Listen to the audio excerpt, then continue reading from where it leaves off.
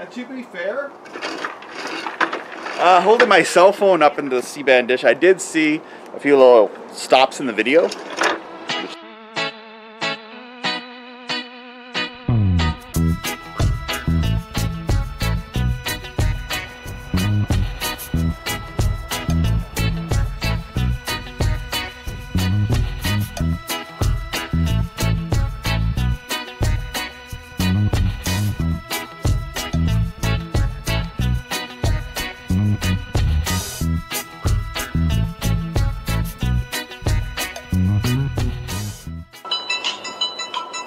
All right, so I called my cell phone.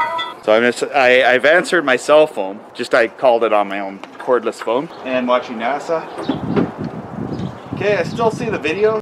Robbie Strike here, reporting from the Ottawa Octane channel on the Happy Satellite Nerd. Today I'd like to talk to you about 5G and 5G interference on C-band. Now, there's been all sorts of people talking. Uh, uh, it's been a trending topic is 5G, but I'm more talking about how it would affect C-band and how it affects uh, satellite reception here on Earth. Microwave interference is nothing new. We've had microwave interference even back in the analog days. There was uh, satellite dishes that uh, uh, PB, I guess they're Earth stations. No, thing, the term that they use for uh, satellite receiving Earth stations. Uh, there was Earth station TV or cable system, and they built like a shroud around the dish to eliminate any noise. Over on uh, TVROSat, we've we, there has been a discussion forum there saying that would be a solution to deal with uh, C-band 5G interference.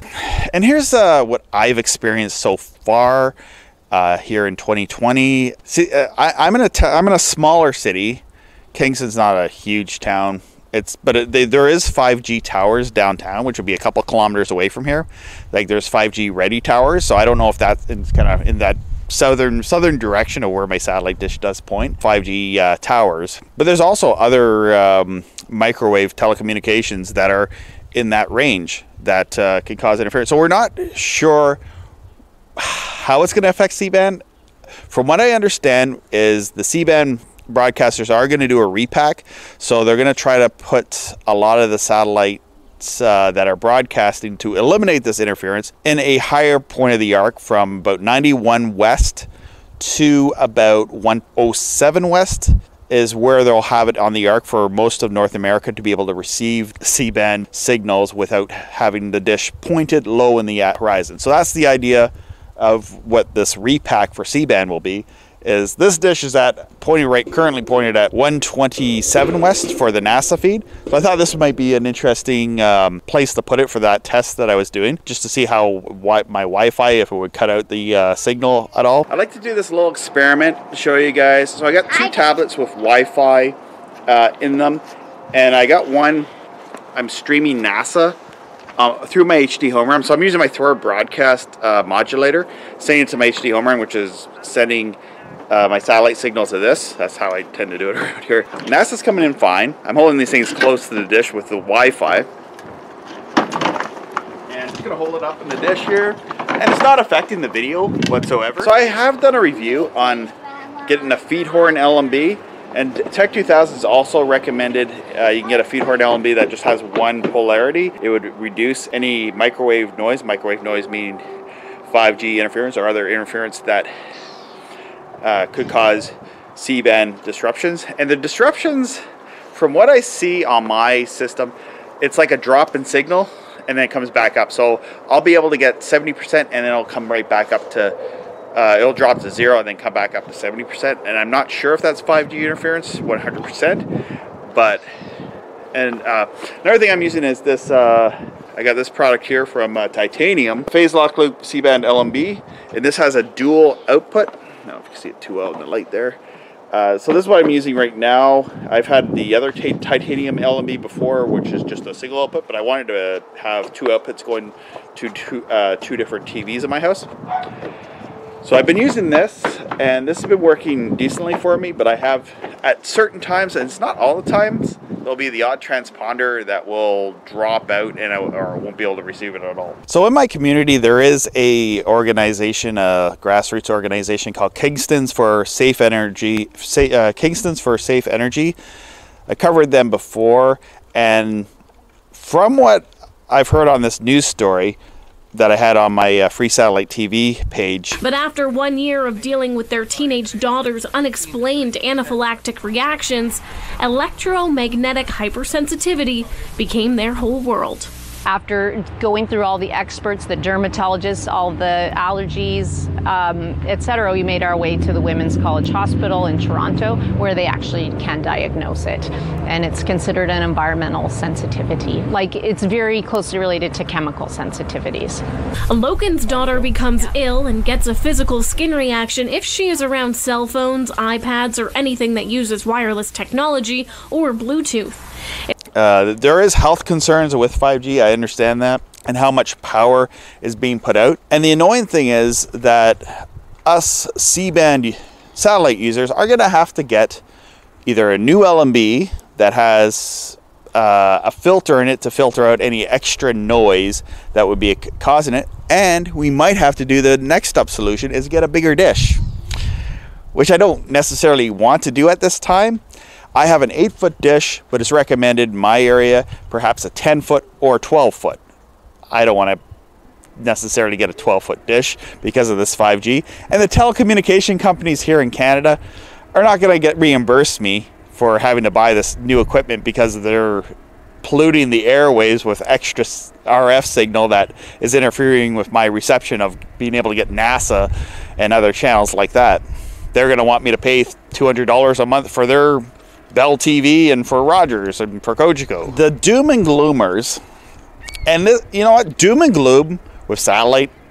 Every year, every uh, at some point every year, a channel will go away, and it's the end of satellite. You'll read the forums, and it's oh, it's the end of satellite now because it's not like how it used to be.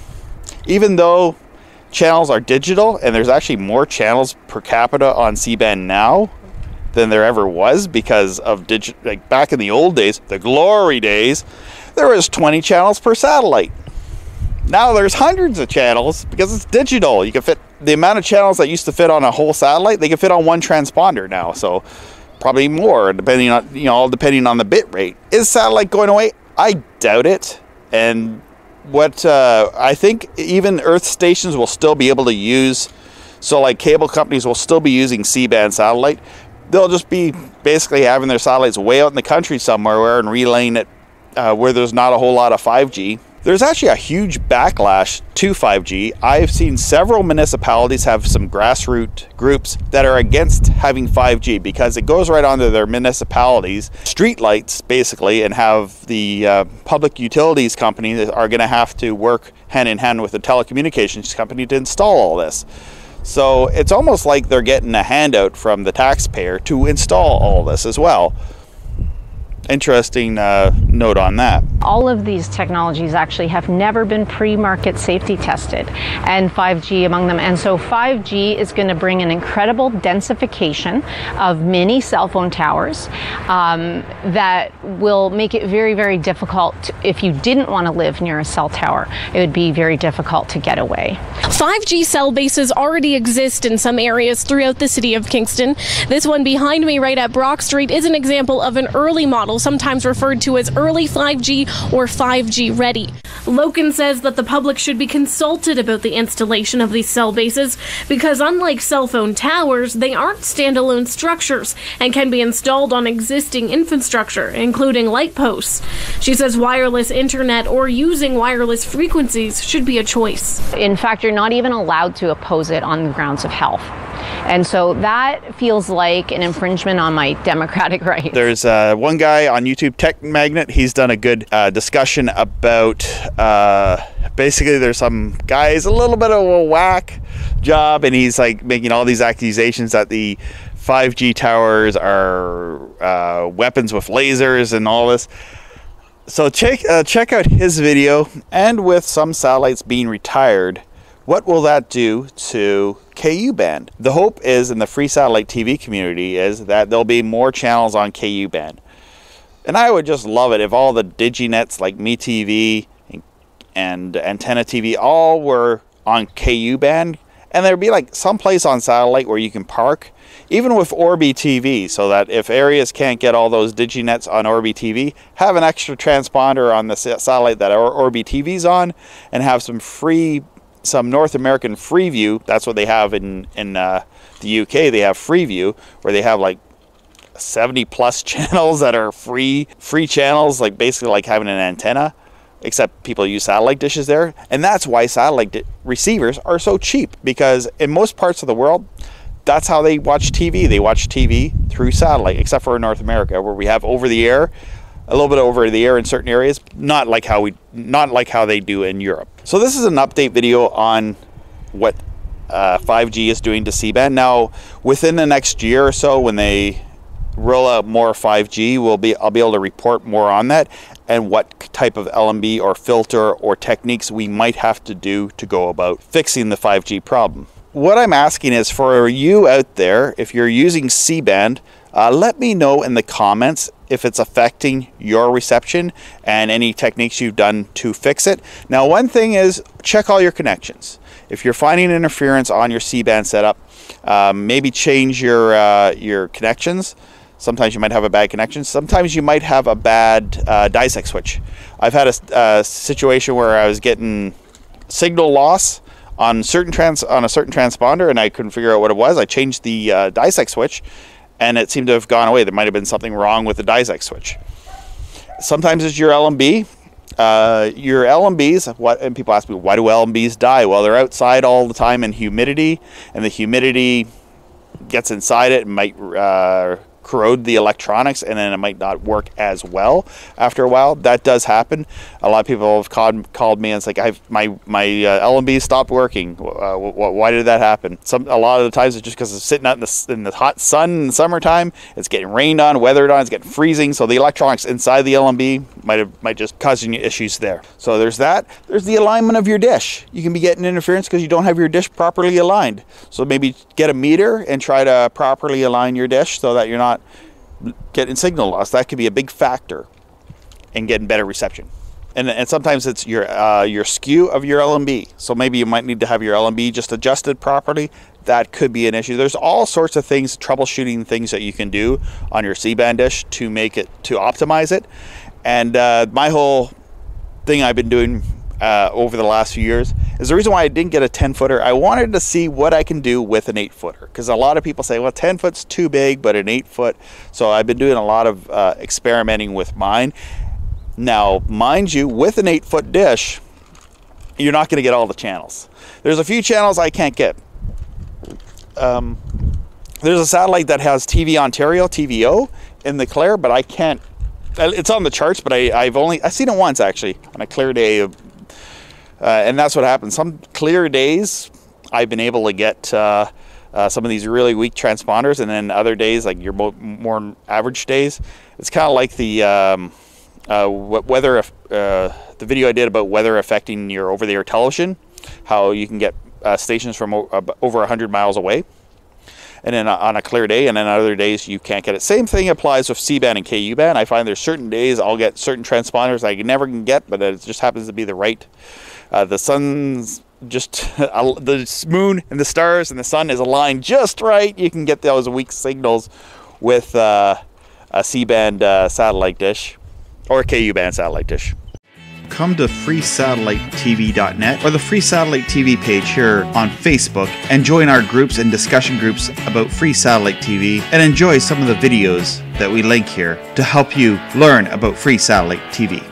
All right, so this uh, channel is getting close to about 10,000 subscribers, and I thank you so much for all of those people that have supported me by subscribing me. It helps me in the YouTube algorithm if you subscribe to my channel and give me a like to help get the word out about free TV because the world would be so much a better place if people in North America knew about free satellite TV like how they do in other parts of the world where they get hundreds of free channels with a small KU band satellite dish. So please give this video a like share it with all your friends. Uh, come to my uh, Facebook page and groups that I've created Uh, there's lots of people that have joined there now that are able to help you because I'm not always able to answer all the questions that people have, but I do have a group for specifically for North American free satellite TV users, and you can go there and ask questions and there'll be people that will answer your questions if you're comfortable using Facebook. And there's other forums out there too that uh, will help you get your free satellite TV stuff set up.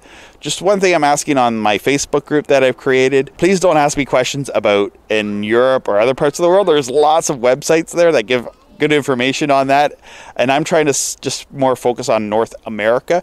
And um, don't ask me about pirating uh, Dish Network or or anything like that. Uh, if you're gonna ask questions about that, we're gonna I'm gonna remove you, okay? Because uh, we're we're just we're not promoting any piracy. We don't want any, I don't want any crap from these big corporations um, uh, that I'd be promoting that stuff, and I'm not. Uh, what, what I'm here for is free. What's free and in the clear? Cat. Yeah, the cat went up there.